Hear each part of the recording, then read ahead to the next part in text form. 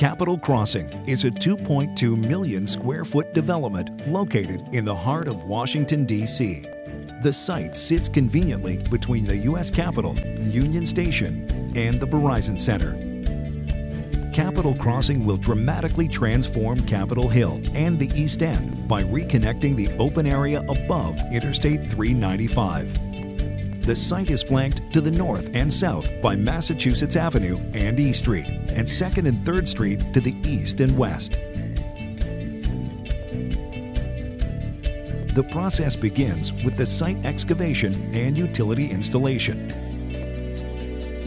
The construction of a new southbound on-ramp will be located on Massachusetts Avenue. The northbound off-ramp will be relocated onto 2nd Street the foundation of the project begins with the installation of the west side slurry wall and the drilling of deep caissons to support the structures above.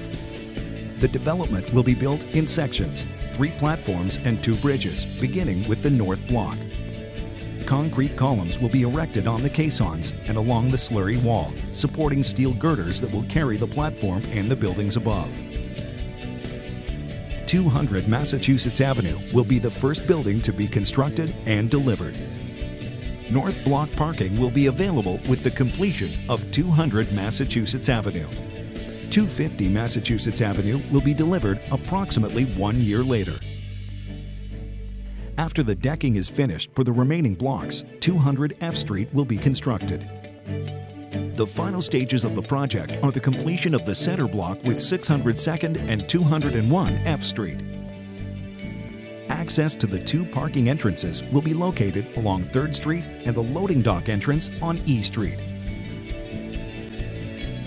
Upon completion, Capitol Crossing will transform the area by reconnecting the grid and offer premium commercial office and ground floor retail space. The below-grade parking infrastructure will incorporate state-of-the-art green technology with abundant parking for tenant convenience. Capitol Crossing will be Washington's newest and most efficient office environment, as well as create a first-of-its-kind eco-district in the nation's capital.